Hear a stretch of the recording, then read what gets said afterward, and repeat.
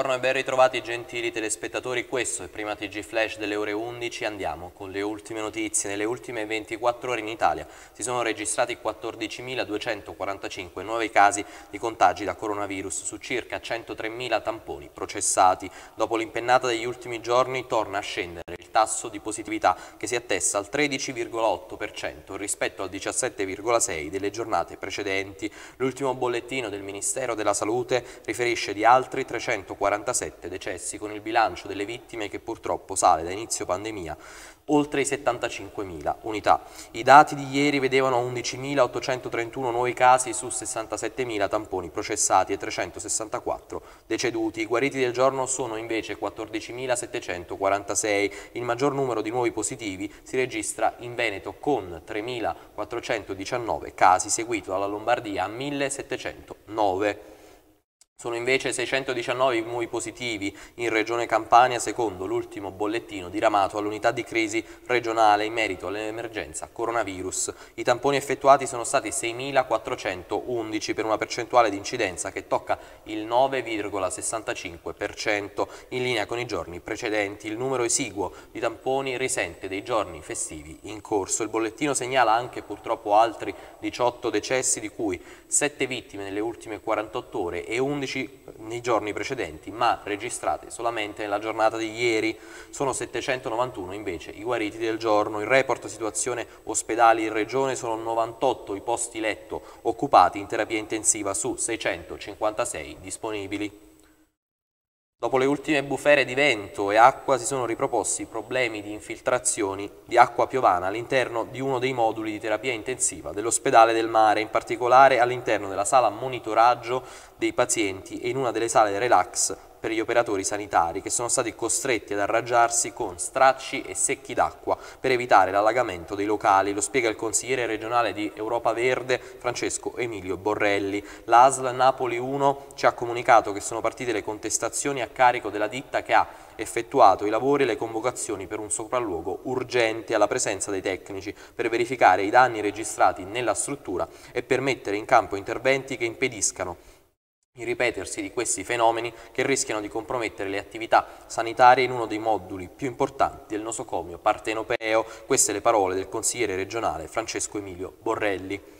Un gruppo organizzato di 6-7 persone ha commesso ieri un furto di un motorino ai danni di un rider nei pressi della calata di Capodichino, un episodio crudo, violento, cattivo e terribilmente senza onore, benché minimo rispetto per un uomo che stava guadagnandosi la sua giornata di lavoro e portandogli via il mezzo con cui effettua il suo servizio utile alla comunità, soprattutto in questo periodo di Covid-19, oltre che ai ristoranti, scene atroci per la violenza che emanano. Un gruppo di persone incappucciate che picchia ripetutamente il povero rider che si aggrappa al mezzo disperato. Alcuni cercano anche di investirlo per rubare lui per rubargli il motorino, una scena raccapricciante. Anche il consigliere regionale Borrelli è intervenuto sulla propria pagina social per parlare dell'evento. Abbiamo ricevuto questo video sconvolgente relativo a un'aggressione ai danni di un rider che sarebbe avvenuta poco fa a Calata, Capodichino. Un gruppo di delinquenti lo aggredisce con inaudita violenza per sottrargli lo scooter con il quale sta effettuando le consegne. Lo gireremo alle forze dell'ordine per risalire agli aggressori. Al rider dico di farsi avanti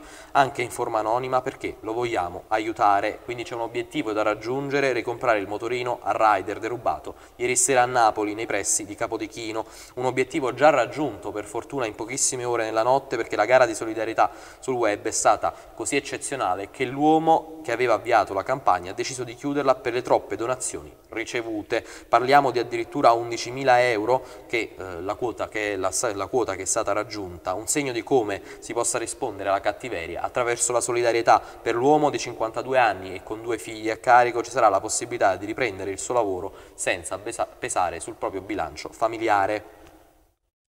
Sono invece 62 i nuovi positivi al coronavirus in provincia di Caserta, secondo l'ultimo bollettino diramato dall'ASL provinciale. I tamponi effettuati sono stati 687 per una percentuale di incidenza che aumenta al 9%, mentre la giornata precedente segnava il 3,9%. Si segnalano purtroppo altri 6 decessi in provincia che portano il totale da inizio pandemia a 446 unità. Dall'ultimo bollettino si segnalano anche 299 persone guarite. I comuni comuni col maggior numero di attualmente positivi sono Aversa con 289 nuovi casi, Maddaloni con 253, Marcianise con 248 e Caserta con 236.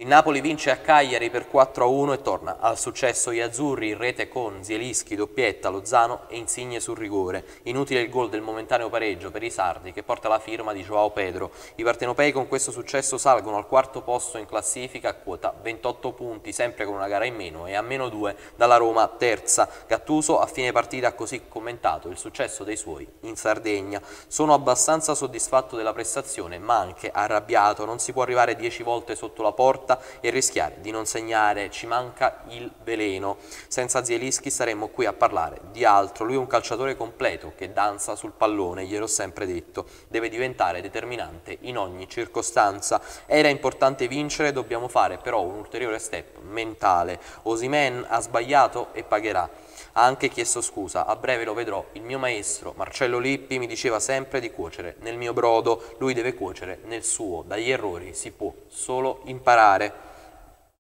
Il Benevento invece cade in casa contro la capolista Milan in una partita ricca di emozioni. A sbloccare il match ci ha pensato il solito che sì su calcio di rigore al minuto 15 dopo un disastro in uscita palla al piede da parte della difesa sannita. Al minuto 33 c'è stata la possibile svolta del match a causa del rosso dato a Tonali, quindi il Milan è rimasto in 10 uomini. I rossoneri però hanno retto l'urto e ad inizio ripresa hanno trovato il gol del raddoppio con un capolavoro di Rafael Leao. Le streghe avrebbero la possibilità anche di riaprire il match con Caprari dal dischetto al minuto 61, ma il fantasista ex Parma sbaglia malamente, la squadra di Inzaghi nel finale sbatte su un super Donnarumma che para tutto e il tecnico delle streghe ha così commentato il match contro il diavolo. Abbiamo fatto una prestazione straordinaria, se c'è rammarico è perché stiamo facendo delle cose egregie, i ragazzi volevano fare il risultato contro una grandissima squadra, il Milan è difficile da affrontare anche senza uomini chiave, sono squadra, ti fanno male nell'uno contro uno ed hanno in porta il miglior portiere d'Europa. Mila-Juve mercoledì tiferò per i rossoneri, come ho sempre fatto.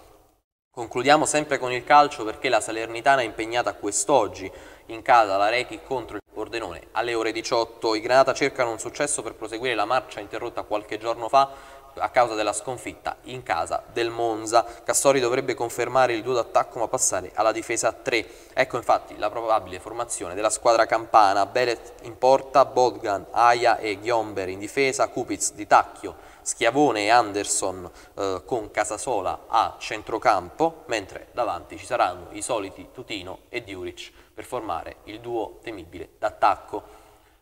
Per questa edizione di Prima TG Flash è tutto, appuntamento sempre tra qualche ora sui nostri canali, un caloroso arrivederci.